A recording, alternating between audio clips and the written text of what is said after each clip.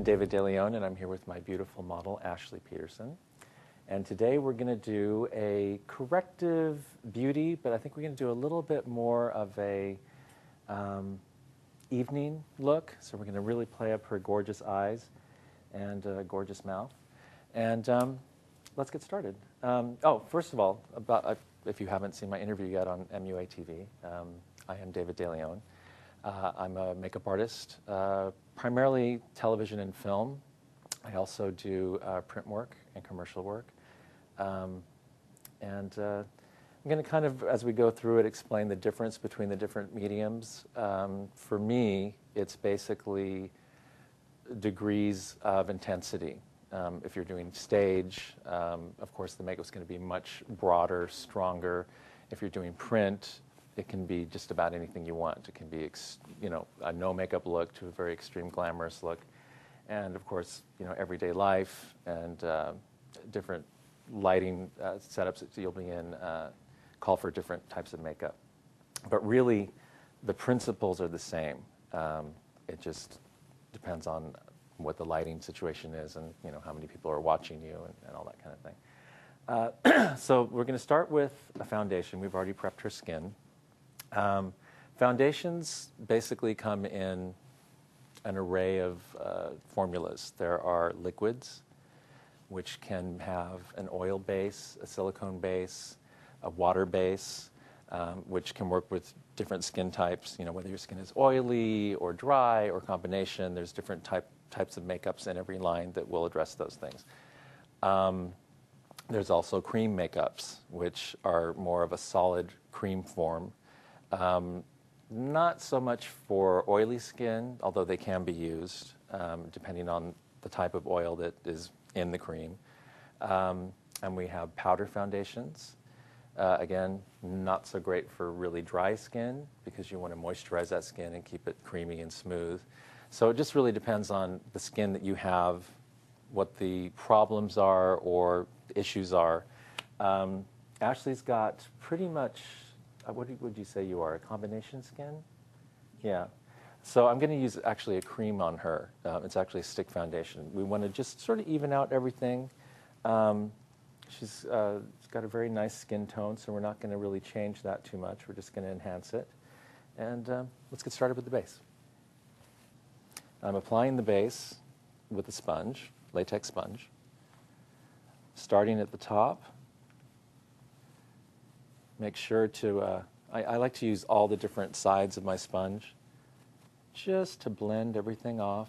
You don't want to, she has blonde hair, so of course I don't want to get makeup into her hair, but I want to blend it off into the hairline.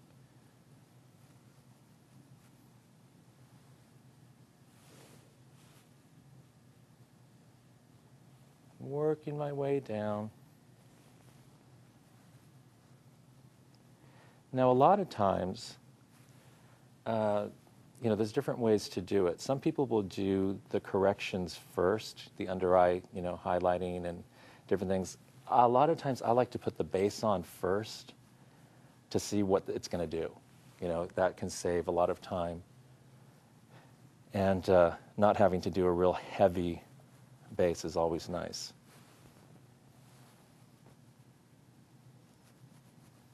It's fun. A lot of people ask how, you know, movie stars look so gorgeous all the time in movies and on television? And the answer is they have makeup people.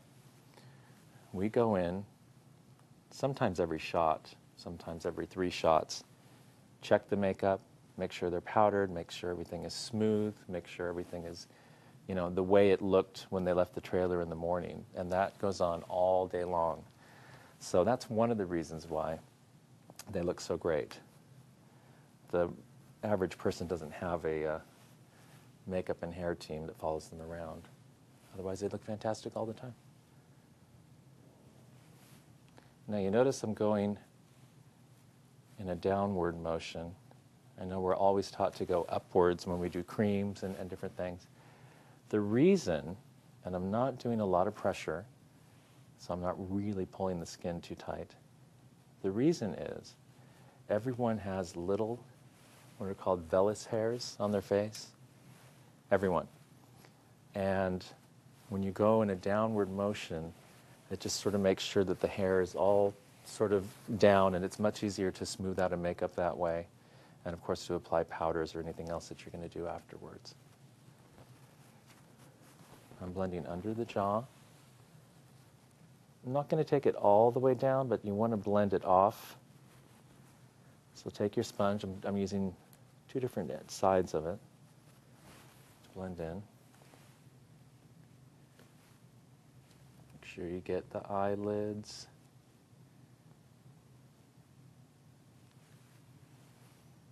Some people like to use eyeshadow primers, and they do work.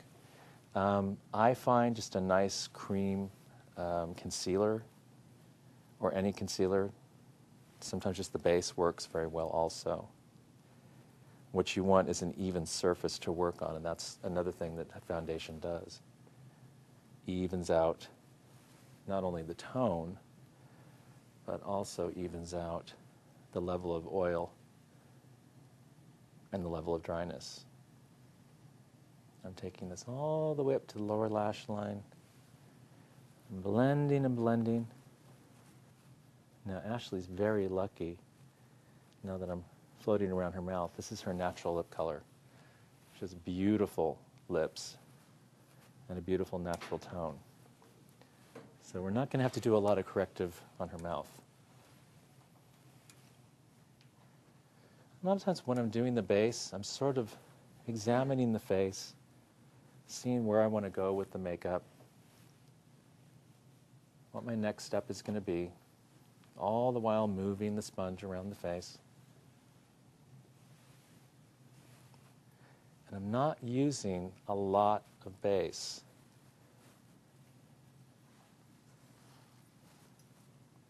Very, very small amount. I'm just taking just a little from the edge of my uh, scrapings here because you don't have to do a lot of makeup to get a nice coverage. You just have to do a very thorough, even application and keep blending. That's the key. Next, I'm going to do a little bit of concealing under the eye. Now, when you do concealing, you don't always have to go all the way around the eye. You don't want that owl look. So a lot of times I'll just see where the darkest part is. And in Ashley's case, it's like almost everybody. Just a little bit in the inner corner under here. And I'm also going to take some of my highlight on the outer just to lift the outer corner of the eye and highlight the top of the cheekbone.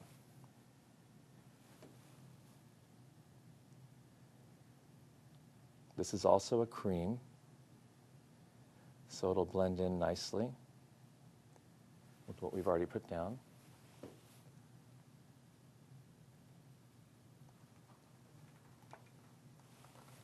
Take my sponge.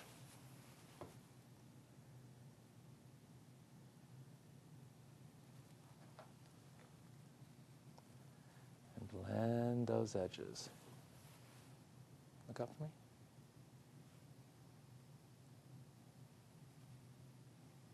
Very, very gentle under the eyes.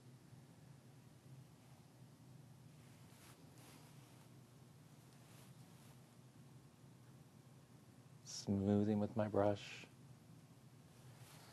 Just for thoroughness, close your eyes. I'm going to take a little bit of that concealer up actually onto the eyelid itself. And this will act as a really nice backdrop for our shadows.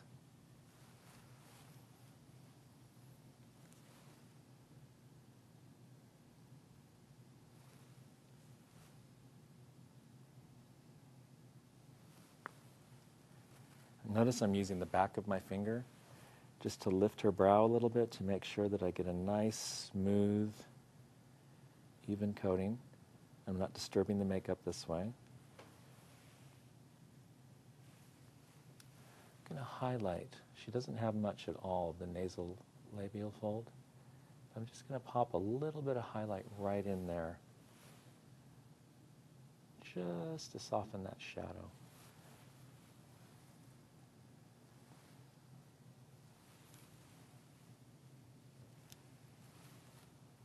Sometimes there's a little bit of redness around the nose. We'll just take care of that.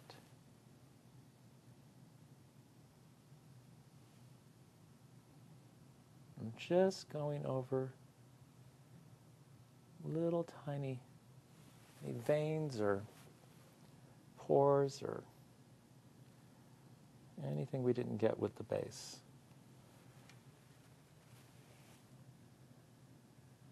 Again, we're not trying to create a mask, we're just trying to smooth what she has and enhance it.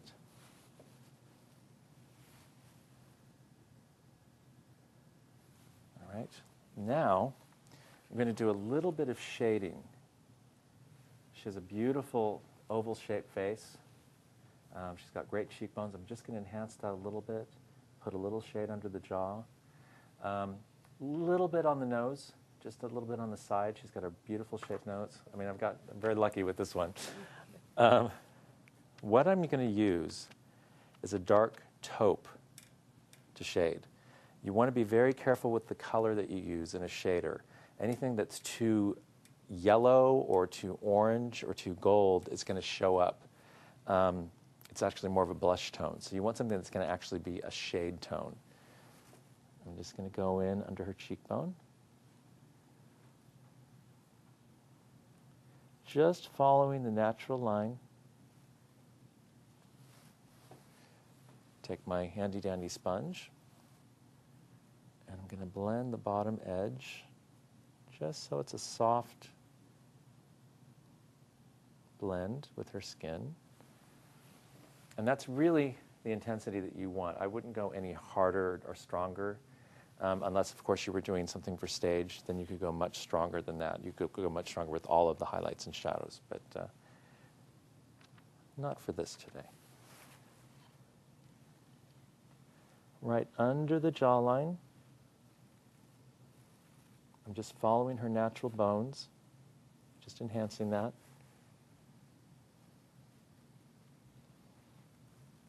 Blending the edge. I'm not taking off the whole thing. I'm just going the bottom edge to feather that off. So we still have that nice little bit of shading in there. I'm going to go on to the other side. Now, you notice I haven't powdered yet. When you're working with creams, you want to make sure that you get all of your cream products on before you powder because the powder will set everything. And once you put the powder on, it's kind of difficult. Not impossible, but it's more difficult to work with other cream products after that. So I like to get everything on there that's going to be the same type of product, and then I powder. Again, Ashley's got a very lovely shape to her nose. I'm not really trying to change it at all. I'm just refining it a little bit. And with her, I don't want to shorten her nose and I don't want to really elongate it too much. So I'm just going to keep it right on the side. Again, enhancing what's already there.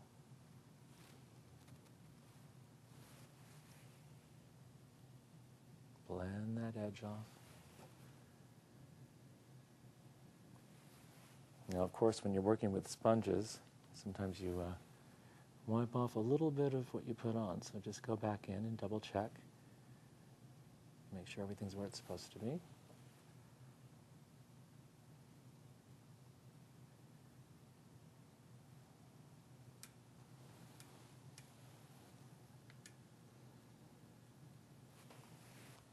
Now I'm going to do a little rouge. I love cream blushes also. They're really pretty. Um, there's a few ways to do it. We've already shaped the face with the shading, so I'm not going to do a, a, shading with the rouge. I want to just sort of do it in the front of the face or the apples just to give a little color and, and brightness to the face. So smile for me.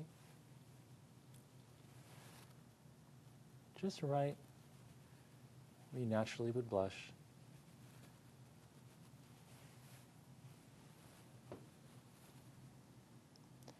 This is a real pretty kind of sheer apricot peach color. Now I'm going to set all of this with a little powder. Using a puff. You can use a brush. You can use a uh, makeup sponge. There's no steadfast rule. I like a puff just because it smooths everything out and not really affecting the makeup at all. Now there's a little bit of oil on the lid, so before I set that, I'm going to go back over with my brush, just smooth it all out.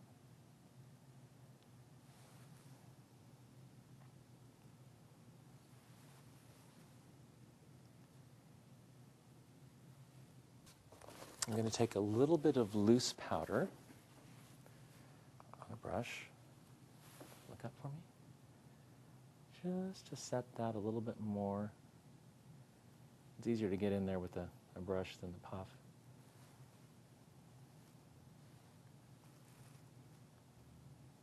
Again, smoothing, smoothing, smoothing. It's so important to keep smoothing your base and your makeup as you go along.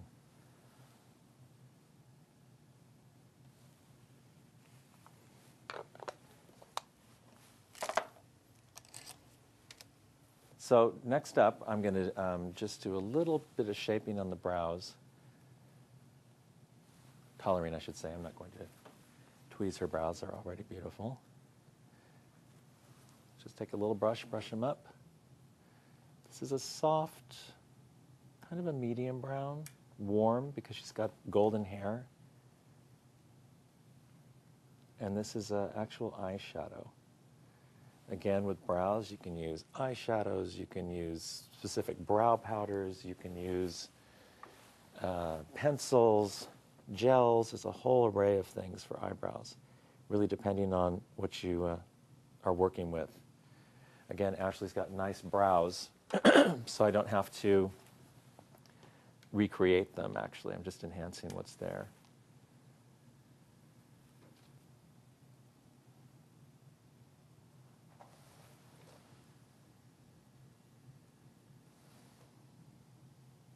I'm going to do sort of a kind of a smoky evening eye on her. Mm. I think she's got these gorgeous killer green mm. cat eyes. So the first color I'm going to put down is kind of a bronzy gold. It's got a touch of red, if you can believe that, rather than yellow, because Ashley has green eyes. Red is a complementary color to green, so it'll really make that pop. You could also do purples, um, are also great with green eyes. Anything that has a red sort of undertone to it is really, really nice. Now I'm going to go in with a nice warm brown. I'm going to do this along the lash line, making sort of a inverted V, I guess you'd call it.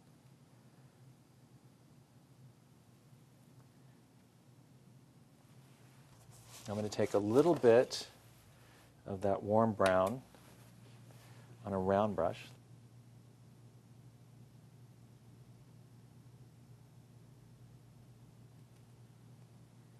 To create what we call a drop shadow. And that gives it that kind of smoky, sexy. It's not a hard line.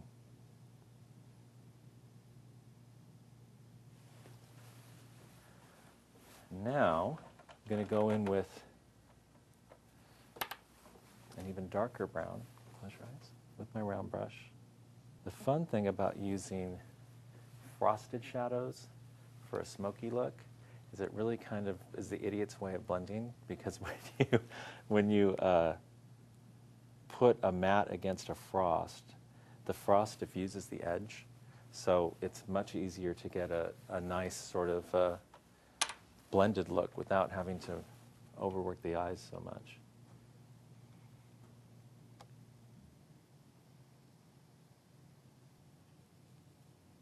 I'm just smoothing my base again, always making sure it's nice and smooth. Now you notice I've got almost no drop under there. I don't load my brushes up with so much product that I have to worry too much about everything running down the face. Now if you were doing a really, really intense, strong you know, smoky or graphic eye, sometimes what a lot of makeup artists will do is they will actually do the eyeshadow before they do the base. So if you know you're going to have a lot of drop, if you're using like black shadow or things like that, um, you can do the eyes first, clean up underneath, then put your base and your concealers and all that on. That's another way to do it. Um, but we lucked out, we didn't have any of that. Now I'm going to just highlight her brow bone a little bit. She doesn't need a lot of reshaping. It's already there, so I'm not going to push the obvious, so to say, so to speak.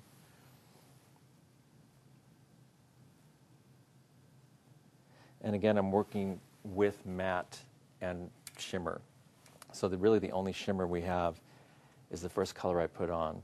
Everything else has been a matte shadow, which is also kind of a cool way to, to do eyeshadows rather than everything being shiny, shiny, shiny, because it draws your eye everywhere. This way it's, we're really just drawing our eye to what we want to see, which is that beautiful warm lid and those gorgeous green eyes. I'm going to add a couple of eyeliners. Close for me. First one is a chocolate bronze. Very soft, big fat pencil. Just along the lash line. This is one of those cool pencils that has a blender on the end. Going to take a little bit underneath, right along that lower lash line Just give a little more pop of shape and color there. Now, I'm actually not going to use any black. You could, but I'm finding because her eyes are such an intense color and they're light eyes, you really don't need a lot to make them pop and to give a real sort of glamorous look. So I'm going to stop with the bronzy liners on her. I think they look great.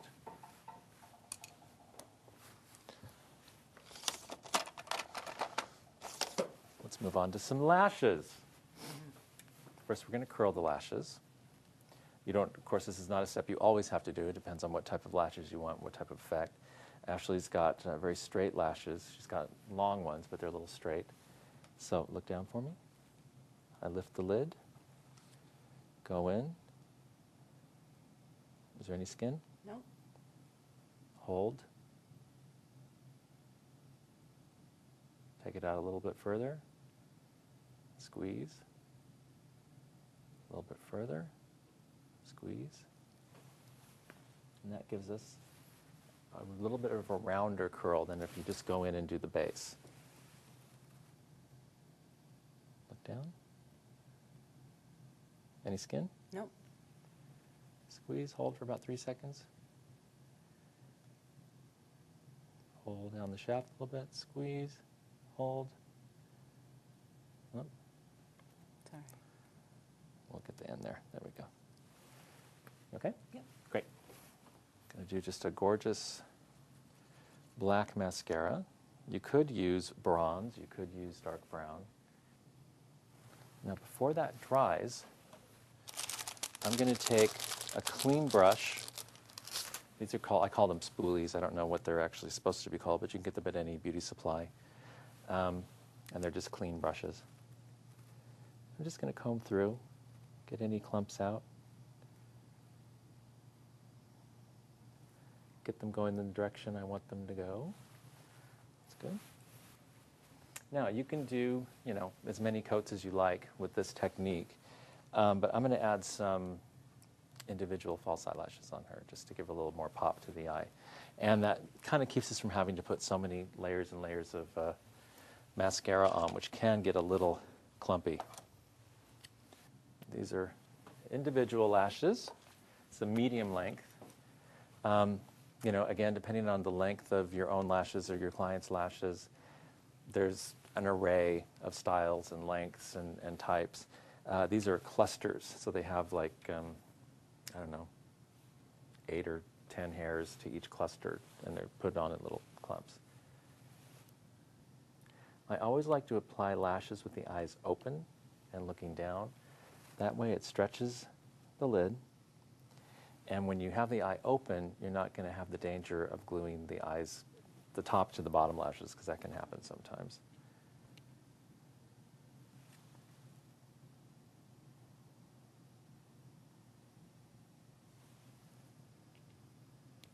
Now I'm not going to take them all the way across. Again, it's just kind of preference. She's got long enough lashes. I'm just filling them in. So I'm just going to do like three quarters of the way. To take a little bit of my mascara. Start on this side. Just to join the two together a little bit.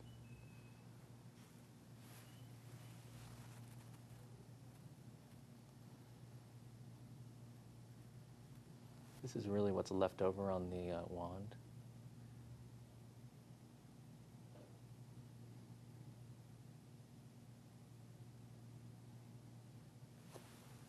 Any little teeny bits of anything.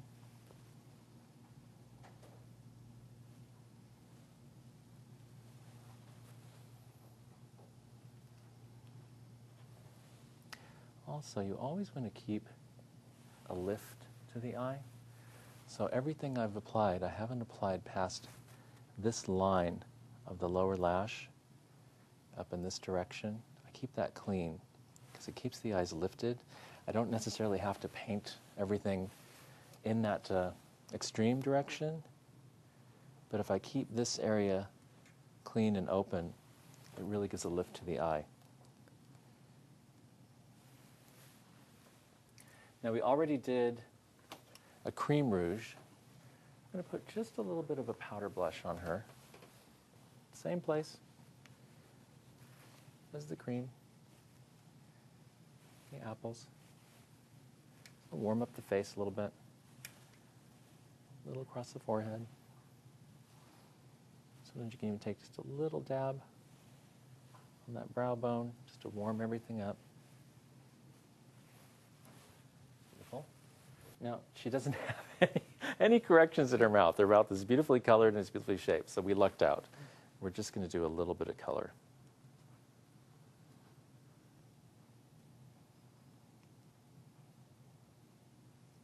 This is a fun sort of a shimmery peach. we've got most of the emphasis on the eyes, so I don't want to really do anything hard or overdone on the mouth because we really just want to showcase her beautiful eyes. The nice thing is we've used a little bit of a shimmer, which complements the shimmer that we put on the eyes. Again, always, always, always blending.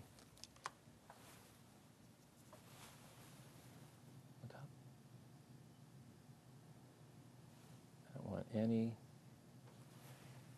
makeup related wrinkles. I'm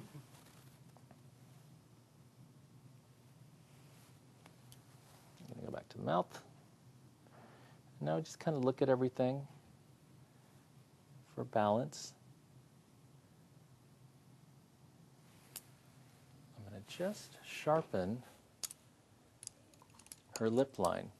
So I'm just going to go on the top of her lip line a little bit of that concealer. And around the edges here I'll take my sponge and blend the outer edge. It's a nice way to sort of shape lips without using a lip liner.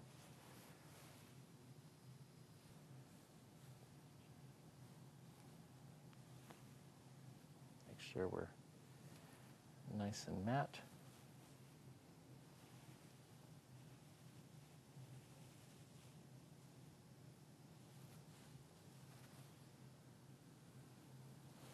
And voila. There you go.